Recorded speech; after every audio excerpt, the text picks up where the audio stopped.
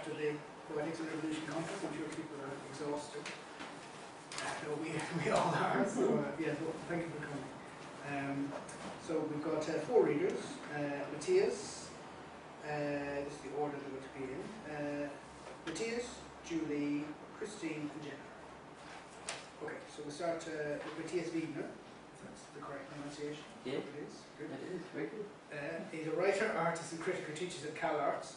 He's one of three members of the art collective Fallen Fruit, which has exhibited internationally in Mexico, Colombia, Denmark, Austria, in uh, Electronica, the Los Angeles County Museum of Art, and the Yerba Buena Center for, Center for the Arts of San Francisco, and the ARCO 2010 in Madrid. Uh, he writes regularly on art for Art, Us, and Extra, and has been published in Cabinet, Journal of Aesthetics and Protest, Radical History Review, and Black Clock, and is the co-editor with Christine Wertheim of Seance and the Nu- oh, let's get this Analects. Is that right? Yes. Uh, his book of experimental fiction is forthcoming from FIG Press. So, Matias.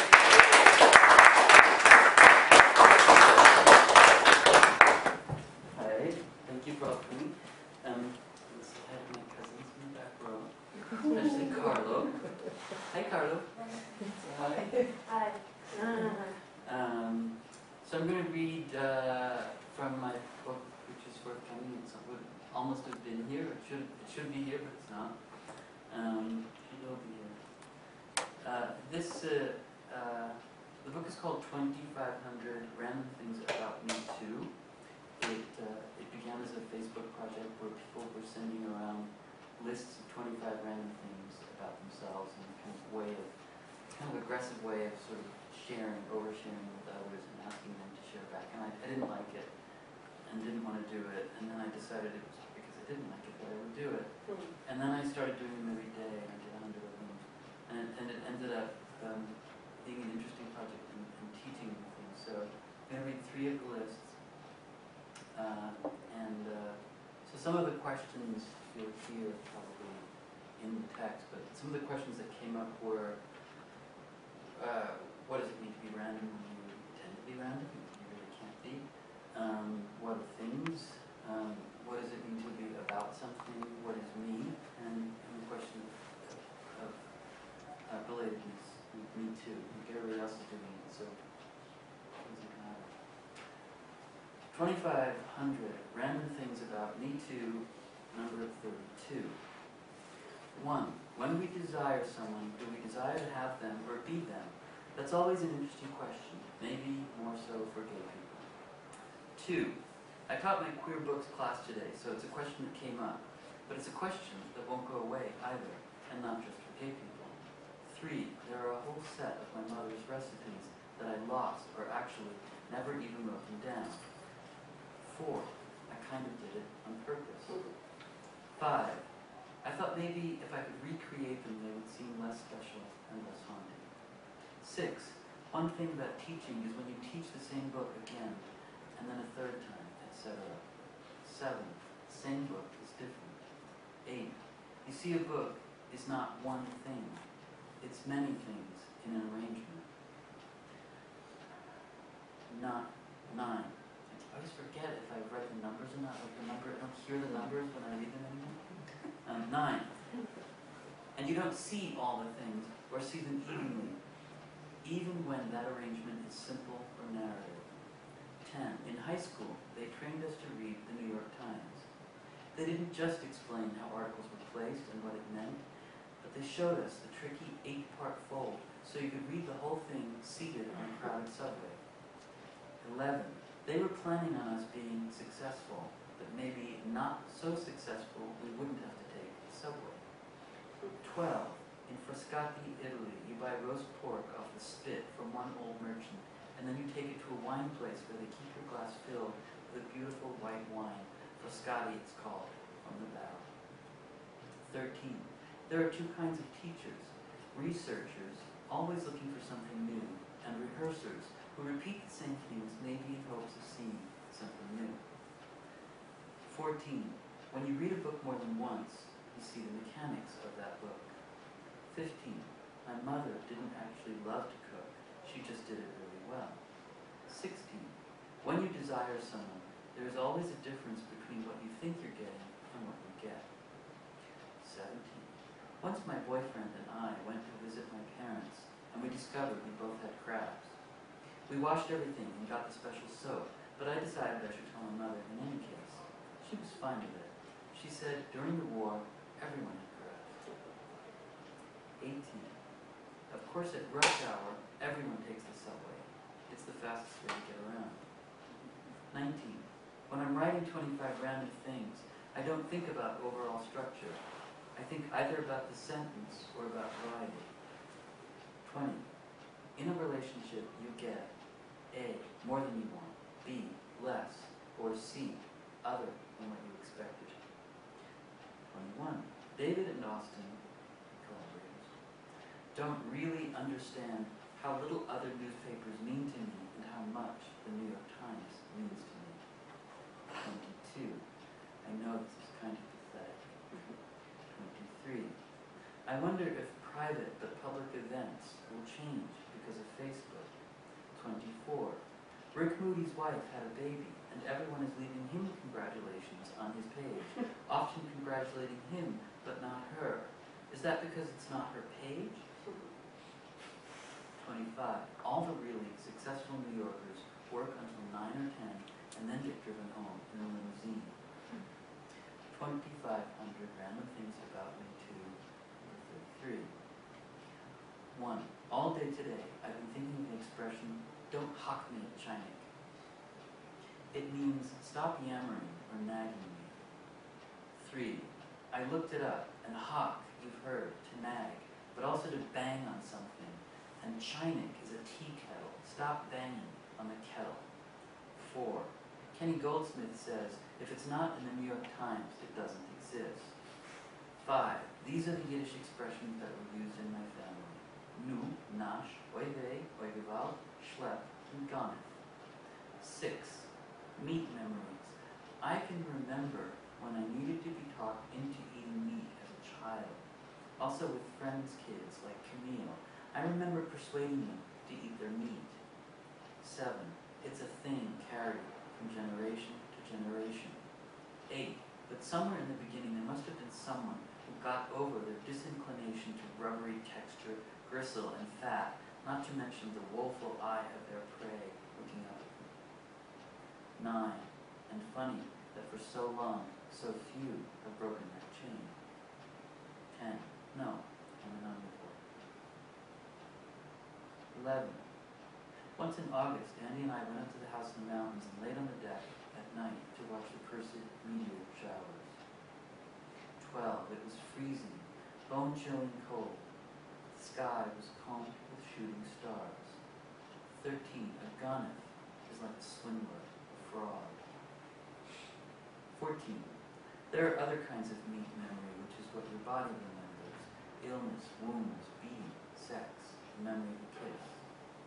The only thing I remember about visiting Berlin as a kid is the Gedächtniskirche. Bombed out church, but kept that way as a war memorial. And seeing bullet holes in buildings that still weren't patched, especially one street in Albert Einstein's house. 16. Only my brother and I, with our Argentine passports, were allowed into East Berlin for a tour. My parents couldn't go. 17.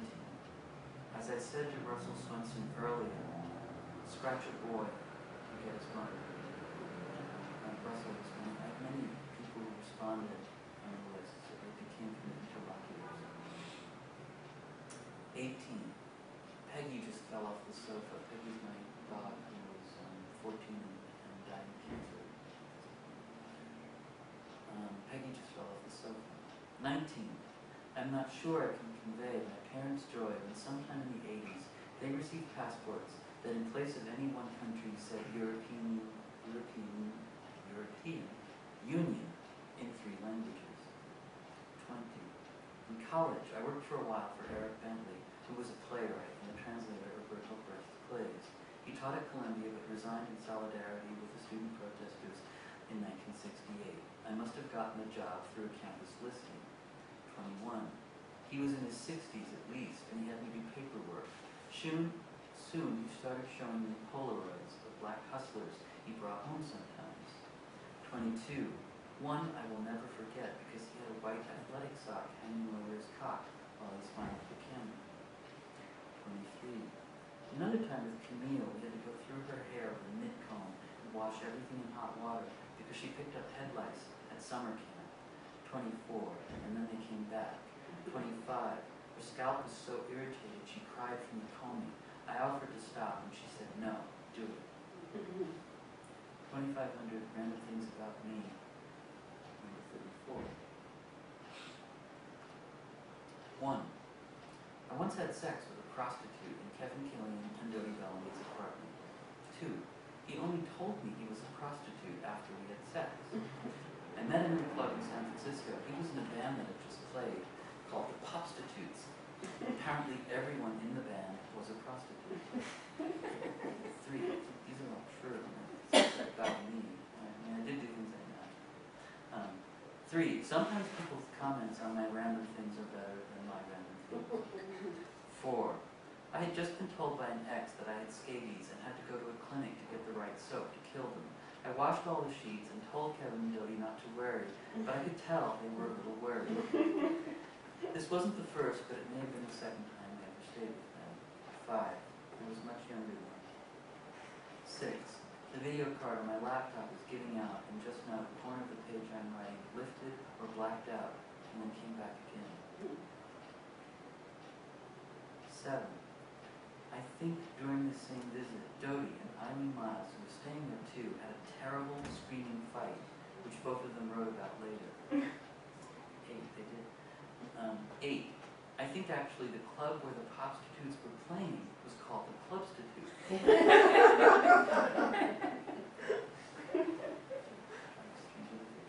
9, a while ago, I saw a video on YouTube of an elephant painting itself or painting another elephant. 10.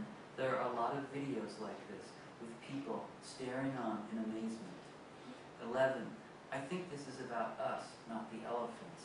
Our pleasure at seeing the elephants reflecting on themselves is really about our desire to see ourselves reflected. 12. Oh, the foolish cult of Matthew Barnes. 13. It seems I'm about a third of the way through now. It doesn't feel any definite way, though. I'm still just writing sentences. Gail came out of sentences, which I thought was really strange now. 14. I never try to know what's coming next. 15. There are in Yiddish two words that mark an important distinction that exists in no other language. The shlemiel and the shlemazel. Two kinds of unlucky or klutzy people but in the spilling of a bowl of soup, the shlemiel will inevitably be the one who spills it, and the shlemazel is the one who gets it spilled on him.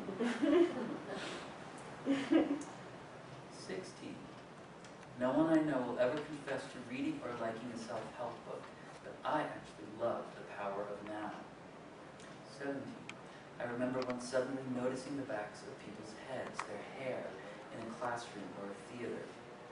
Eighteen. It might have been after getting glasses or contact lenses. Nineteen. Suddenly every hair was visible. A whole head of hair, one by one, and lots of heads, a whole room of heads of hair. 20. Another in that line of recognitions was when I first saw Jeanne Dunning's photographs of women's hair. You looked at it and you thought, wow, every hair counts. Hmm. 22.